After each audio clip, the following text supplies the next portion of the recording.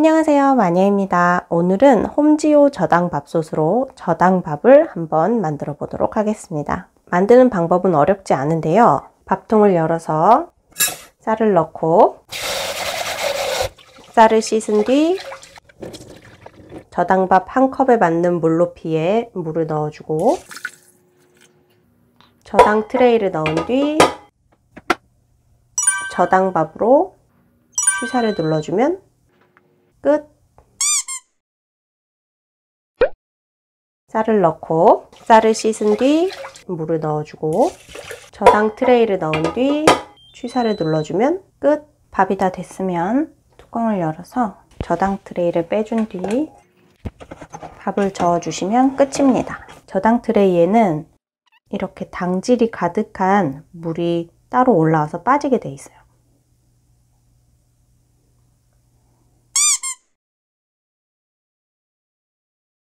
안에서 뽀글뽀글 소리가 나서 궁금해서 살짝 열어봤더니 당질 물이 엄청 올라오고 있어요. 얼른 닫아야지. 꼭 저당밥이 아니더라도 홈지오 저당밥솥을 추천드리고 싶은 이유는 사실 저희 집에는 아기 전용 밥통이 하나 더 있어요. 한 2년 전부터 구매해서 사용하고 있는데 전체적으로 좀 엉성하달까요? 문 열릴 때도 보면 홈지오 밥솥은 부드럽게 열리는 반면에 저희가 기존에 사용하던 밥통은 무슨 스프링 튕기듯이 팍 하고 튀어나가거든요. 그리고 밥을 하면 밥을 한 지 하루만 지나도 밑에 부분이 굉장히 딱딱해지면서 말라서 굳어버려요.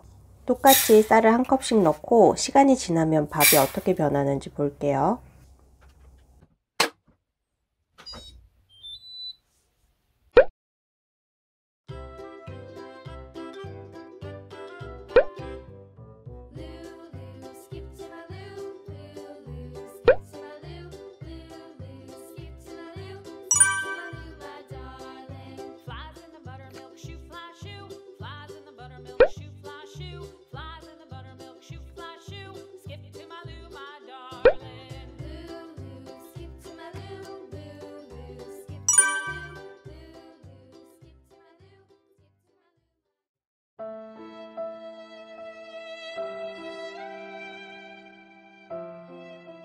또 디자인이 되게 예뻐서 주방 인테리어에 신경 쓰시는 분들은 인테리어를 해치지 않을 정도로 디자인이 되게 잘 나왔어요. 뭐 이렇다 저렇다 해도 가장 중요한 건 성능이니까요. 저당 밥이 얼마나 효과가 있는지는 야수의 실험 결과를 한번 보시죠.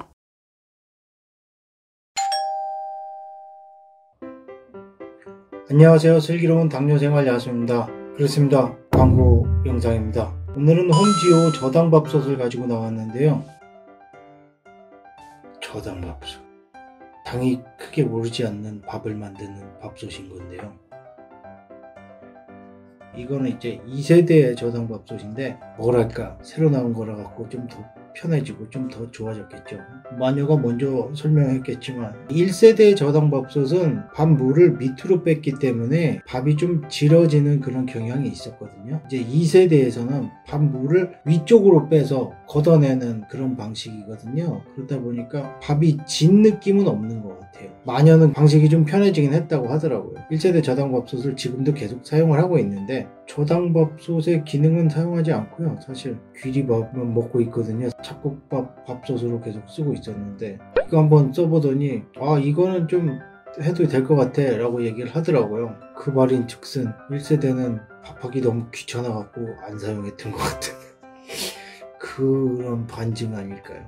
뭐 혈당이 아무튼 좋게 나왔어요. 그래서 광고 영상을 찍기로 했죠. 마녀가 얼마나 그렇게 기대하고 있었겠습니까? 제발 혈당 좋게 나와라. 제발 혈당 좋게 나와라. 저 친구는 아주 그냥 기도를 했을 거예요. 1세대 저당밥솥은 솔직히 뭐랄까 사실 주변 사람들한테 권하기에 조금 그랬어요. 왜냐면 가격대도 꽤 고가의 밥솥인데다가 뭐 물론 원래 전기밥솥이고 꽤 비싸더라고요 원래 이 밥통은 13만원? 13만원이라고 하던데요 괜찮은 거 아닌가요? 아주 큰 대용량은 아닌데 집 모든 식구들한테 다 잡곡밥, 저당밥 이런 거를 권하기는 사실 힘들 거예요 통 하나 따로 이렇게 돌리시는 것도 괜찮지 않을까. 저희 집 같은 경우는 밥통을 두 개를 운영을 하고 있어요. 저랑 마녀가 주로 사용하는 귀리밥솥, 그리고 아기가 먹는 백미밥솥, 조그만 거. 윤기가 흐르기는 해요. 반짝반짝거리기는 한데, 뭐랄까, 찰진 느낌은 좀 빠지는 것 같아요. 가벼운 밥이랄까?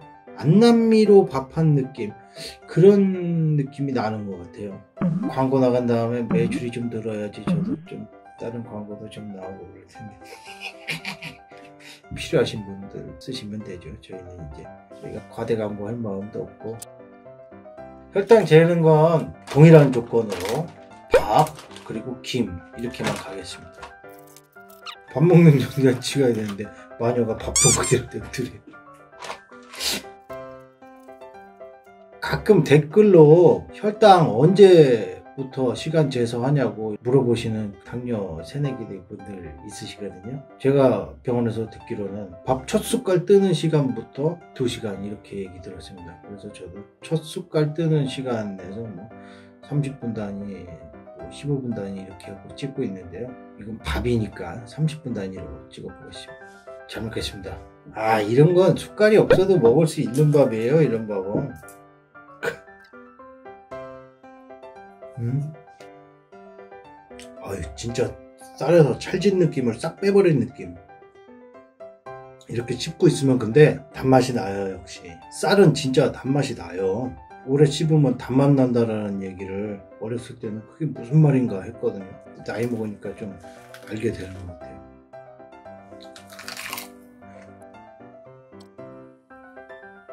오늘 혈당 보고 내일부터 밥이 어떻게 나올지 모르겠는데.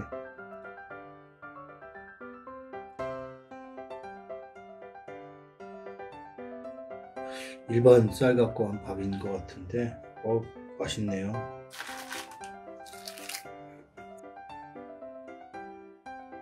근데 진짜 이런 밥이면 김 하나 갖고서도 뭐 밥 두 그릇 세 그릇 먹겠어요 진짜. 딱 먹기 전에는 사실 좀 바짝 마른 밥이랄까? 좀 퍼석할 것 같고 막 그런 예상을 하는데 실제로 먹어보면 딱히 그렇진 않아요. 뭐 기름기 잘잘 흐르는 밥, 뭐 진밥 이런 건 아닌데 그렇다고 엄청 되지도 않고. 그냥 맛있는 밥 밥이란 게 원래 그렇잖아요 너무 질어도 별로고 너무 돼도 별로잖아요 근데 이건 딱 중간 정도 딱 먹기 좋은 그 정도 수준 실질적으로 이걸로 밥을 해서 드실 땐 그냥 이렇게 김만 해갖고 드시는 것보다는 혈당이 더 낮게 나올 거예요. 보통 일반적으로 밥 먹을 때 야채 조금은 드시잖아요. 김으로만 먹는 것보다는 혈당이 좀 더 나을 테니까 그 13만 원이면 한 번 더 덤벼볼 만 할 것 같은데요. 혈당 관리하시는 분들한테는 필요하니까요. 그 식구들하고 분리해서 밥 따로 먹을 수도 있고 그러니까 뭐 괜찮은 것 같은데요. 추천할 만하지 않은 거는 우리가 말을 잘 못하잖아요. 괜찮은 것 같아요. 정리해서 말씀드리자면 1세대 저당 밥솥은 약간 조리법에 있어서 조금 번거로운 면은 있었어요. 그리고 밥이 질어지는 경향도 있었는데 이번에 2세대는 그런 부분을 많이 보완한 것 같아요. 어, 단가 면에서도 많이 절감이 되었고 크게 부담스럽지는 않지 않나 한번 도전해 보실만 하지 않나 생각합니다. 기본적으로 잡곡밥을 해 드시면 밥솥 자체가 수명이 좀 짧아진다고 하더라고요. 그렇게 맛있는 밥 드시면서 혈당 관리하실 수 있으면 좋겠습니다. 이제 대망의 혈당 변화를 한번 보시죠. 느낌은 되게 괜찮은 것 같아요. 잘 먹었습니다.